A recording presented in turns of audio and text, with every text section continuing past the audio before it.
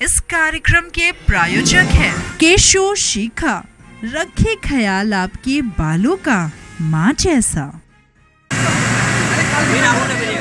मध्य कोलकाता के रविंद्र सदन इलाके में शुक्रवार एक बहुमंजिला इमारत की चौथी मंजिल पर भीषण आग लग गई। एक्साइड मोड़ के पास स्थित इमारत की छत आग की वजह से ढह गई। बताया जा रहा है कि बिल्डिंग में स्थित फ़ैशन डिज़ाइनिंग इंस्टीट्यूट की एक एसी मशीन में शॉर्ट सर्किट सुबह करीब नौ बजे आग लगने का कारण है। साइट पर लगभग आठ दमकल की गाड़ियाँ पहुँची और आग को कम करने की कोशिश में जुटे रहे। अभी तक किसी के हाथाहाथ होने की कोई सूचना नहीं है। प्रत्यक्षदर्शियों ने कहा है कि चौरंगी रोड पर इमारत से निकलने वाले धुएँ को देखा जा सकता है और धुआँ हवा के माध्यम से चारों तरफ़ घनी आबादी में फैल गया। धुएँ के फैलते ही लोग सड़कों पर उतर गए और और अफरा तफरी का माहौल व्याप्त हो गया। मध्य कोलकाता में व्यस्त क्षेत्र में कई कार्यालय हैं। एजीसी बोस रोड पर भी यातायात काफ़ी बाधित रहा। दमकल विभाग के अधिकारियों ने बताया कि इमारत में मौजूद सभी लोगों को निकाल दिया गया है और कोई भी फंसा हुआ नहीं है।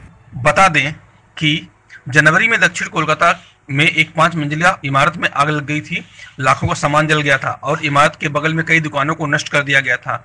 गरिया हाट इलाके में ट्रेडर्स असेंबली बिल्डिंग में आग लगने के कारण आग पर काबू पाने के लिए कम से कम 19 फायर टेंडर लगाए गए थे। अधिकारियों ने कहा कि इमारत से सभी परिवारों को निकाल दिया गया है और आग में कोई घायल नहीं हुआ है। अधिकारी ने कहा कि सांस लेने के तकलीफ़ के बाद कुछ लोगों को अस्पताल ले जाना पड़ा।